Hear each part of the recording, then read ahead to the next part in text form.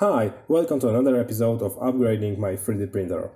This time I will mount the end stops, do some cable management and finally some test prints.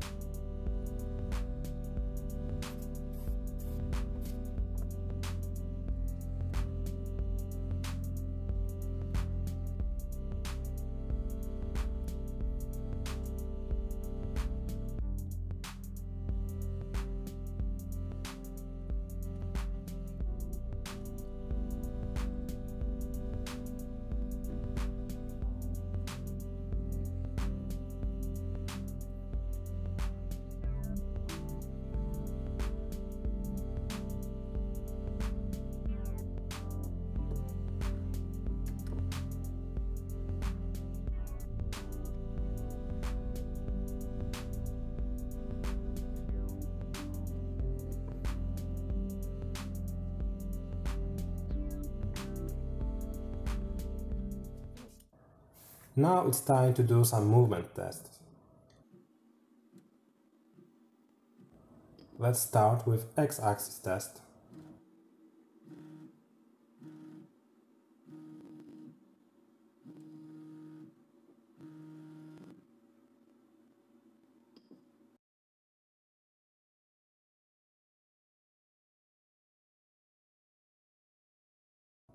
Now y-axis test.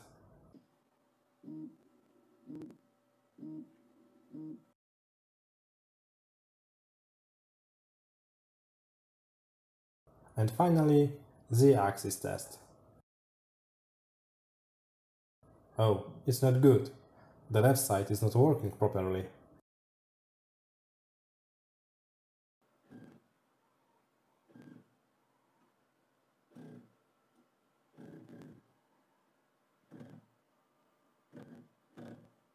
There's something wrong with the left side of the z-axis. This is really bad news.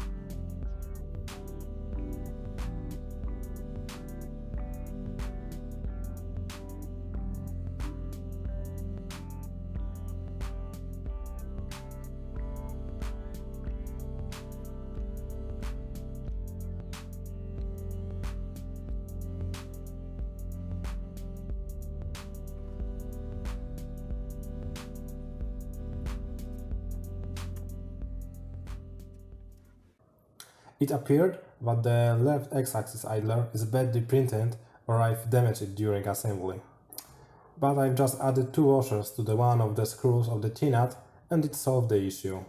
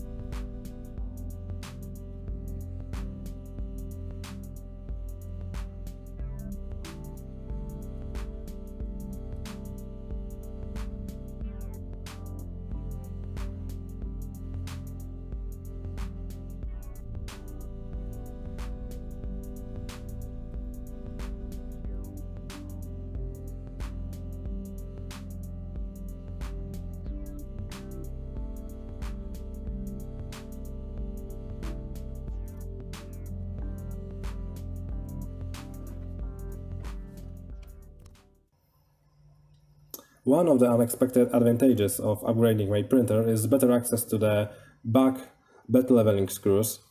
Now it's really easier to adjust that because I have more room here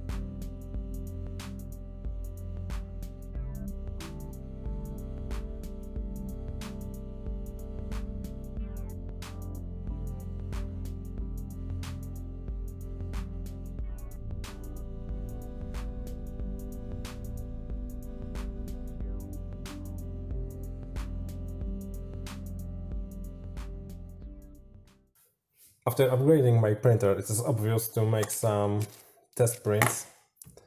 Uh, I've started with uh, this test cube. It should be 20 millimeters by 20 by 20. Mm.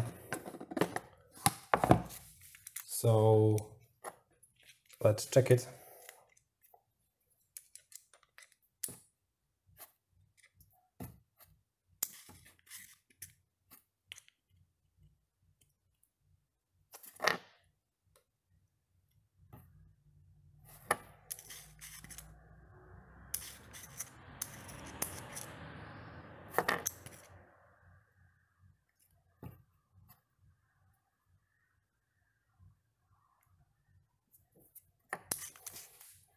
Okay, so let's check the x direction. Pretty good.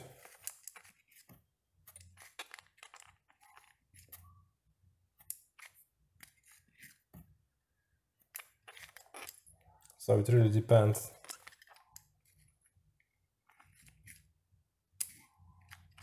When Okay, so in the y direction, let's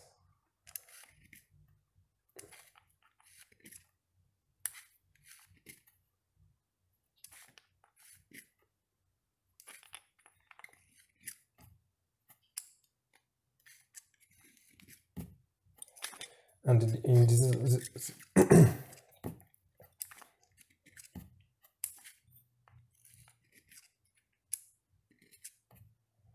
as you can see it is the worst dimension is the z-axis.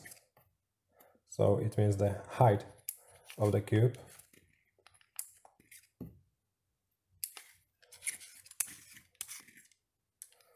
It is because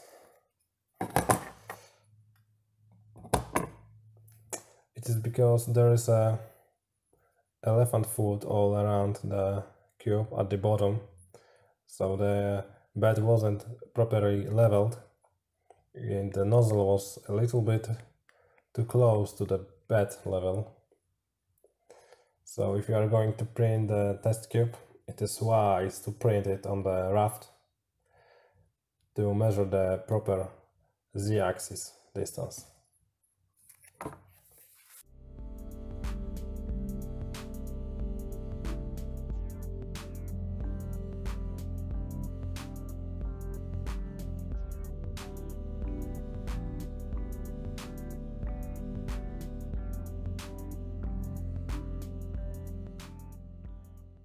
Another test print is a phone case for my smartphone. It is printed in green PLA. I've already managed to break it. The print came out pretty okay, but the right upper corner did not stick to the hotbed and also overhangs did not came out great. Other than that, it works and looks great in the Shrek green color.